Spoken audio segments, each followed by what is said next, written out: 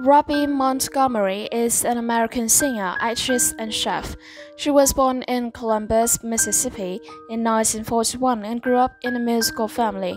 Before becoming a successful chef and businesswoman, she worked as a singer in the girl groups The Ikettes, one of the famous backing vocal groups of the band Ike and Tina Turner.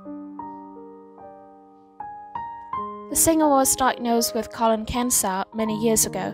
For Robbie Montgomery, persistent constipation made her decide to go to the emergency room in Houston in March 2018. She was 77 years old then.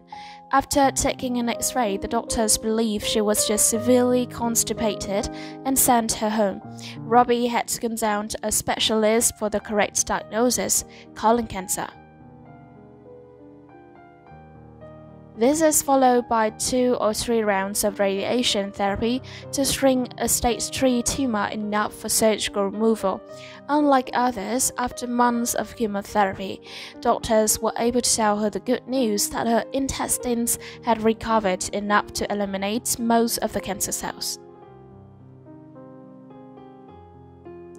On April 27, a severe stomach ache once again came to Robbie.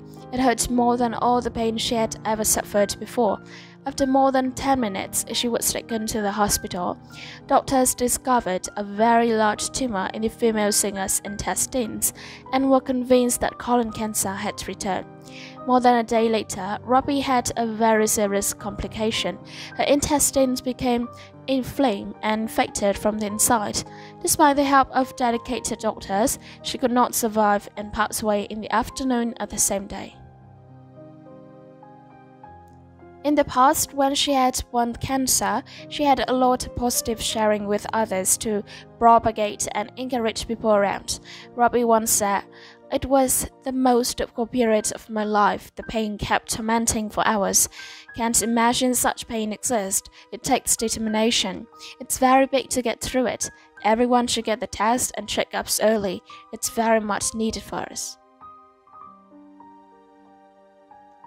Tell us what you think of Robbie's death. Please send her your prayers and leave a comment in the comment section below. Subscribe to channel and press the bell to update the latest news about her. Thank you for watching the whole video.